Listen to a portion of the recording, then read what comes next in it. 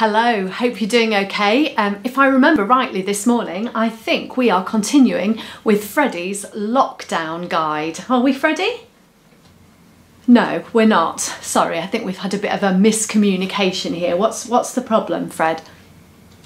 Okay, you don't feel like doing a lockdown guide because you're feeling sad. Oh dear, that doesn't sound very good. What's wrong? You feeling sad about your friend Uman? Because she doesn't want to be your friend anymore.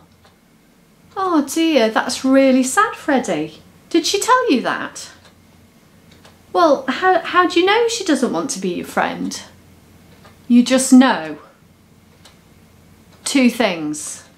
Okay, well, are you going to tell us what they are and then maybe we can sort this out?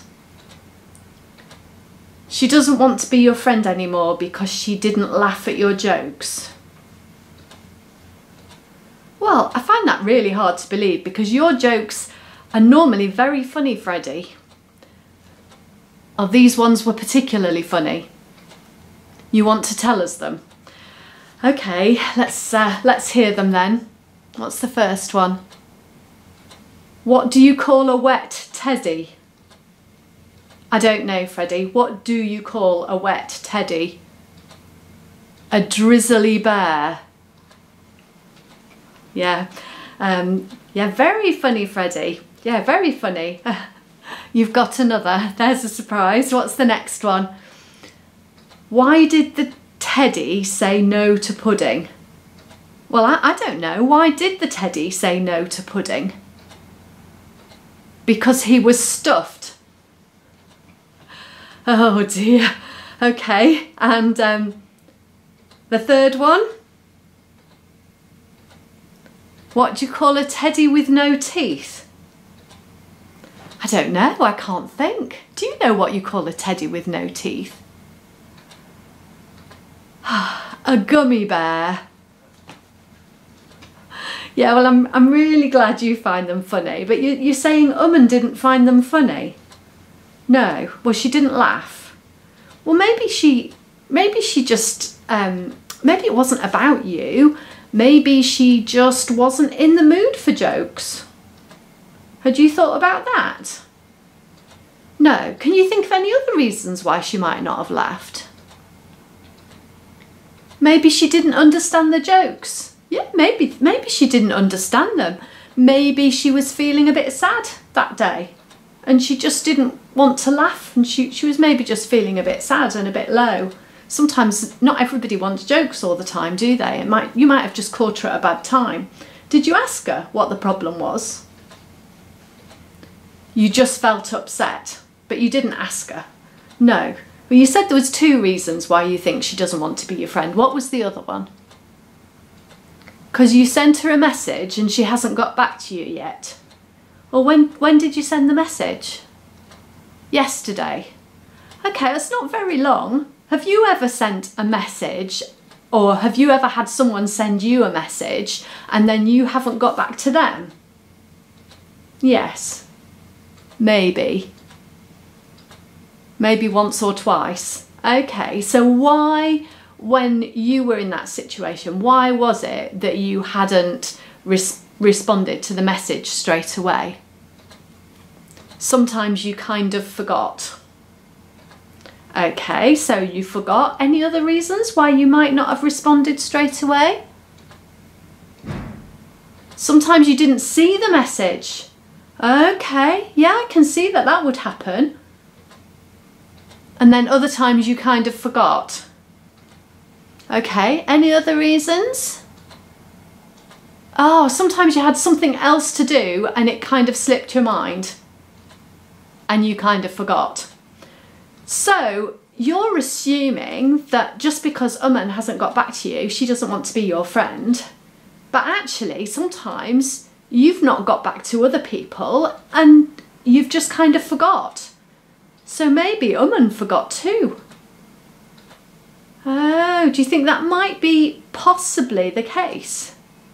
Maybe. You don't know.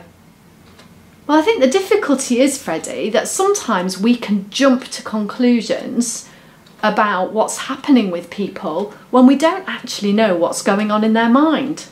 So you saw Umman not laughing at your jokes and you thought it was because she didn't like you, but there could be another explanation.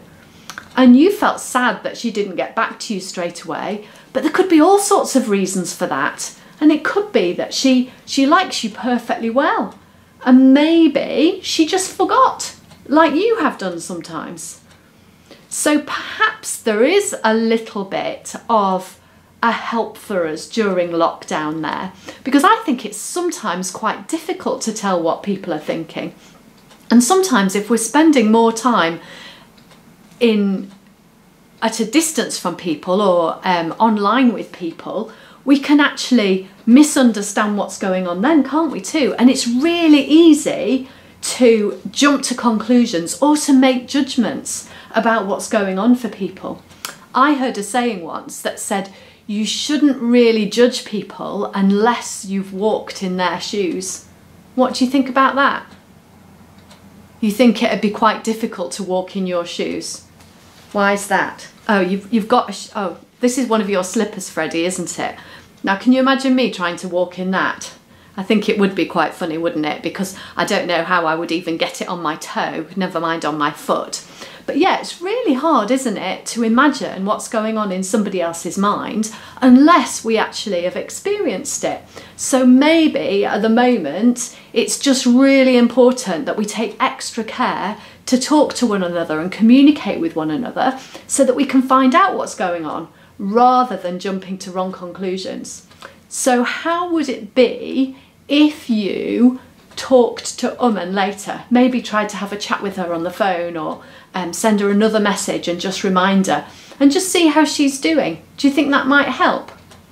Yeah, I think it might too, because I think you're going to find out that actually she does want to be your friend, and I think you've perhaps maybe made a bit of a wrong judgment there. Do you? So perhaps that's something for all of us to think about at the moment. Maybe when you're tempted to make a judgment about something, you could just stop for a minute, especially if it's a negative judgment, and wonder whether there might be something else going on. And perhaps we'll find out that some of the things that we're worried about, they're not actually the case. That people do like us, that they do care about us, that they are interested in us. And let's try and believe the best, shall we, about those around us. Let's just bow our heads for a prayer. Dear God, will you help us in this time to not make judgments about people that are negative, but to really listen and to try and understand each other and where we're all coming from. And when you help us to be kind to one another and to look after one another and to just feel a real sense of your peace in our hearts. Amen. So, Freddie, there's something for us to think about this week as we think about the people around us, just thinking about what judgments we're making, how we might come to the wrong conclusions, and how we can maybe stop and think and work out what, what might really be going on. And most importantly of all, talk to each other and communicate. We'll see you soon. Take care. Bye bye.